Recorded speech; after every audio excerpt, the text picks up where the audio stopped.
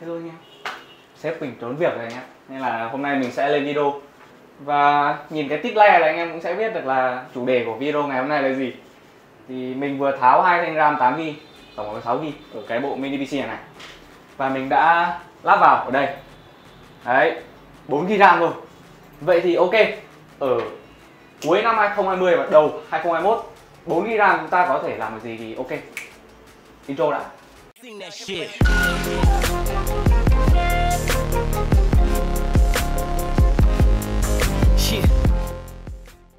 Mình đã quay trở lại ở đây. Và như anh em có thể thấy nhìn lại một lần nữa cho nó kỹ không lại bảo mình không đúng. Đấy. Với 4g RAM Win 10 64 bit. Thì anh em có thể thấy lúc khởi động lên chúng ta đã mất đi một nửa rồi.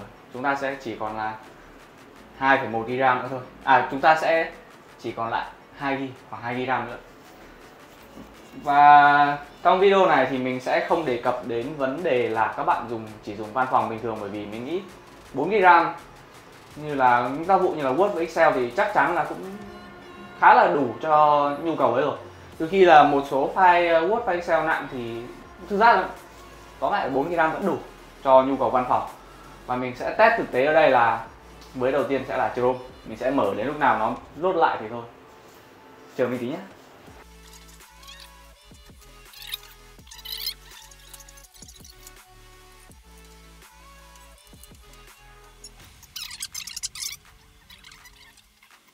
đấy như anh em có thể thấy, mình chỉ mới mở 4 tab Chrome thôi. Hai tab Facebook, chưa lốt ảnh nhá. Hai tab Facebook chưa lốt ảnh.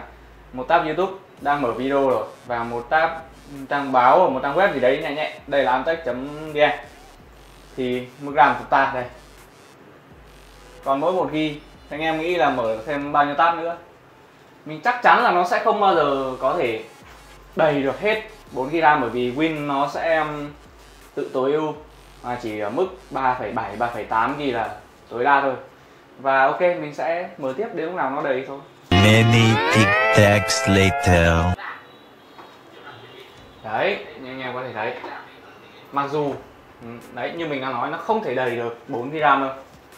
Nó lại tụt rồi nếu khi mà mình dừng video. Nhưng mà trong quá trình mình lướt Facebook hay là làm cái gì đấy lúc chuyển đi giữa tab này với tab kia nó sẽ có hiện tượng khựng và đây mình đang mở 10 tab.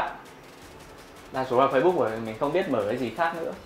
Đấy, đấy là tùy vào nhu cầu anh em thôi thì với khoảng 7 đến 10 tab tùy là cái web đấy có nhiều dữ liệu hay không thì với 7 đến 10 tab Chrome là 4 GB là tèo rồi. Còn tiếp theo mình sẽ đến với gaming thì thực ra đa số game bây giờ vừa ra mắt thì đa số là đều từ mức 8 GB đổ lên. Nhưng mà mình vẫn sẽ thử xem là bốn cái RAM nó có chơi được không. Và mình sẽ chỉ thử hai tựa game gọi là cứ cho là quốc dân đi là LOL với lại um, cái gì nhỉ? FIFA Online 4 A few minutes later. Đấy, như anh em có thể thấy với mức 4 RAM mình chơi hoàn toàn mượt mà. Ở đây cấu hình mình đang sử dụng là chip i5 7005T cộng với uh, 1060 con mini PC này, cấu hình như thế. Thì đấy FPS vẫn 230 này, thoải mái cho anh em chiến với mức 4 GB RAM mình đang để đây, ở mức trung bình, độ phân giải 2K này.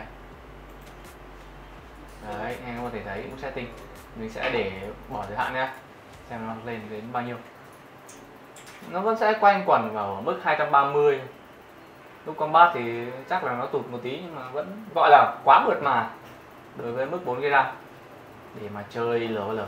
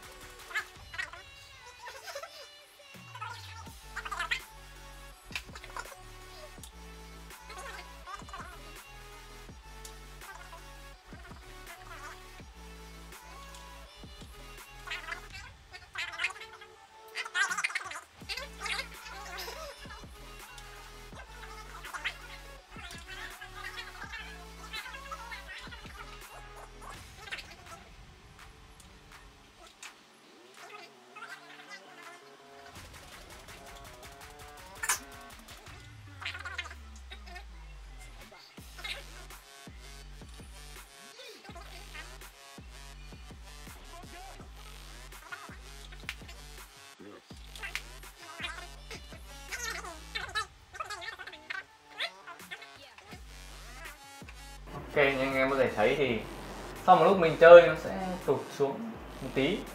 Nó sẽ vẫn ở mức mượt mà là tầm khoảng à, nó lại lên này. Nó sẽ vào khoảng từ 150 đến 200 fps thì vẫn ok vẫn chơi mượt mà và mình lưu ý ở đây là mình đánh với máy nhé nick là nick của sếp mà sếp đỡ đánh với người có chuyện gì xảy ra mình lại chết. Đấy. chơi vẫn hoàn toàn mượt mà. 4 cái RAM để anh em đánh liên minh thì quá thoải mái. Nhưng mà anh em mình ý kiến là mình đánh gài nhá mình không biết chơi đâu.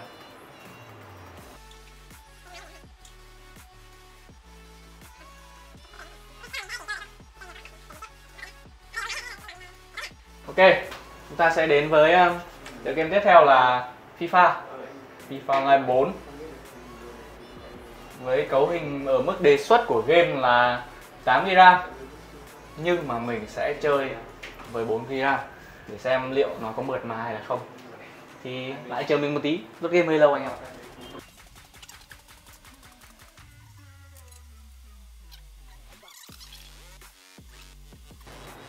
Đấy, mình đã vào game rồi và như anh em có thể thấy thì 30 fps ra là ở cái giao diện này nó đang bị khóa fps lại và tối đa chỉ là 30 thôi. Thì mình sẽ vào một trận. Đá cho anh em xem thì nó sẽ lên 60 à, mình không biết cái tựa game này lắm nên không biết là có cái mức tùy chỉnh là không khóa lại cái fps hay không. Nhưng mà mình lúc vào trận thì nó cũng chỉ ở mức được 60 fps thôi. Thì với một mức fps như vậy em vẫn có thể chơi một màn mà đúng không? 60 fps 4 GB RAM trong khi nhà đề, à, trong khi nhà phát hành lại đề xuất là 8 GB RAM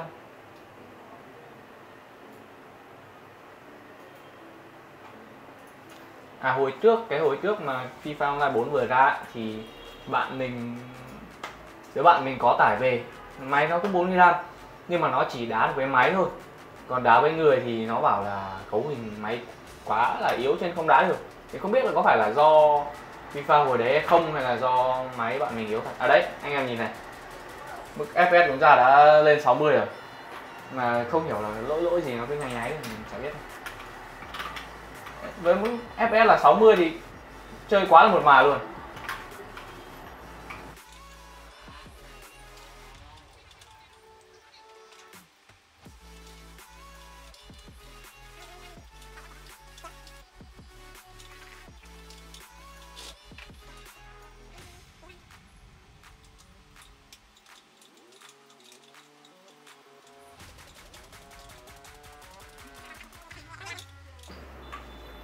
Đấy như anh em có thể thấy.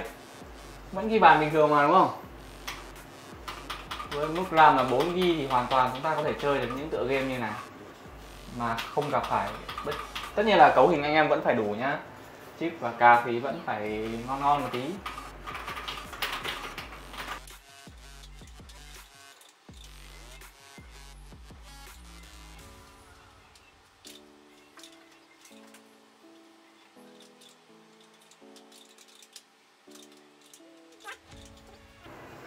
Đấy với mức 4 GB RAM ở năm cuối năm 2020 và đầu năm 2021 thì anh em vẫn có thể sử dụng những tác vụ cơ bản một cách gọi là đủ dùng. Còn với game ấy thì mấy tựa game đơn giản như là LOL hay FIFA Online 4 thì vẫn chơi được. Còn tất nhiên với 4 gram anh em không thể đòi hỏi là chơi Cyberpunk 2027 hay là mấy cái game nó khủng được.